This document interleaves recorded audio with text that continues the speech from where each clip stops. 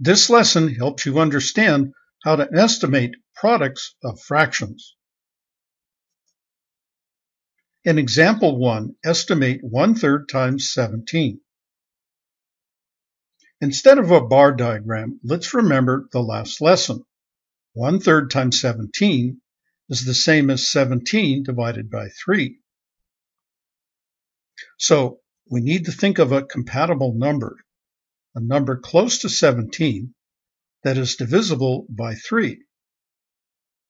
You might think of 15, but 18 would be better. Then one third of 18 is 6. So one third times 17 is approximately equal to 6.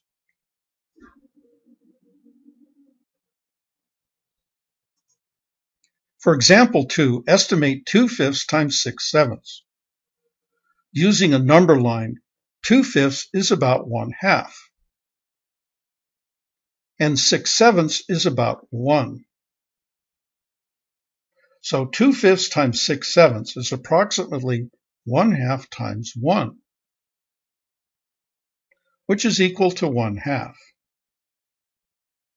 So 2 fifths times 6 sevenths is approximately 1 half.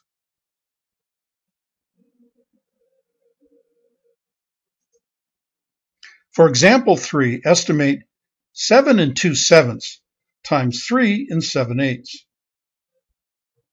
Round 7 and 2 sevenths down to 7.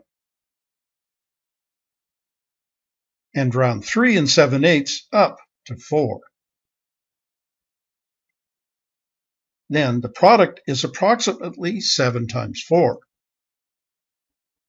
which is equal to 28. So 7 and 2 sevenths times 3 and 7 eighths is approximately equal to 28.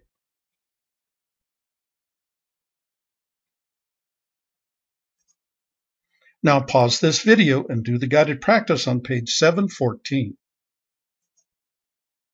In guided practice 1, 1 half times 25 is approximately equal to 1 half times 24, which is equal to 12.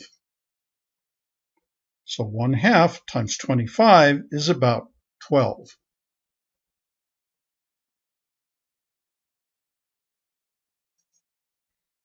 This lesson helped you understand how to estimate products of fractions and this lesson was brought to you by the Math Fun Academy. Its continuing mission to explore strange new worlds, to seek out new math and new equations, to boldly go where no math student has gone before.